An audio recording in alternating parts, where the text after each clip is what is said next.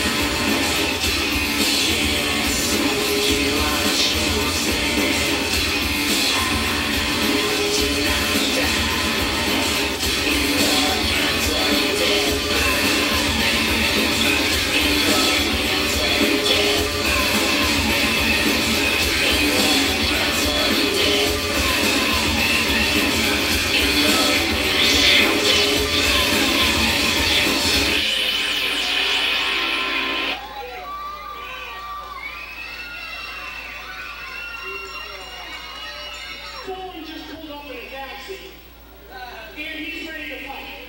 You know nothing is here, but